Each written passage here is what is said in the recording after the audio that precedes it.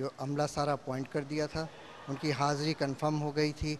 वो रात को हमारे पास नहीं पहुँचे। हमें ये भी इतला है कि वो रात को यहाँ पे आए हैं और यहाँ से कुछ लोग उनको ले गए हैं। और वो हम मुस्तकिल हमारे कॉन्टेक्ट्स में उनके फ़ोन नंबर मोबाइल नंबर पे हमने कोशिश की है, लेकिन उनके मोबाइल नंबर बन जा रहे हैं। और सुना यही गया है कि उनको किसी जगह पे छुपा लिया गया है।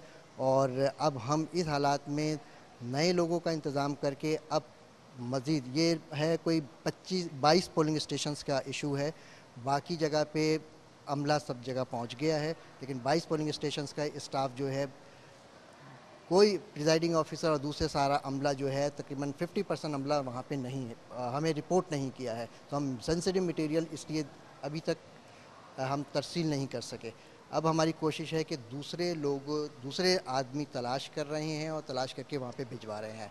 हम मैं समझता हूँ कि आधे घंटे में ये मामला वहाँ तक पहुँच जाएँगे और पोलिंग स्टेशन पे काम होना शुरू हो तो हमारे जो बीस दो हज़ार तकरीबन वोटर्स होते हैं एक पोलिंग स्टेशन के ऊपर तो यकीनन उसके हवाले से हम कोशिश करेंगे कि बाद में शाम को उनको एडजस्ट करें और शाम को उनको वक्त पे हम सबको अंदर कर लेंगे। ज़्यादा से ज़्यादा ये होगा कि वो पोलिंग का प्रोसेस जो है वो ज़्यादा देर तक चलता रहेगा लेकिन हमारी कोशिश यही होगी कि पाँच बजे तक जितना स्टाफ मौजूद है उन सबको हम अंदर लेकिन जिस तरह स्लो काम चल रहा है जिस ये चीज़ें रात तक हो जानी चाहिए थी हमारे जो ये अभी काम हो रहा है ये रात तक ख़त्म हो जाना चाहिए था। हमारी duty N A two fifty पे खुशबख्श के हल्के में।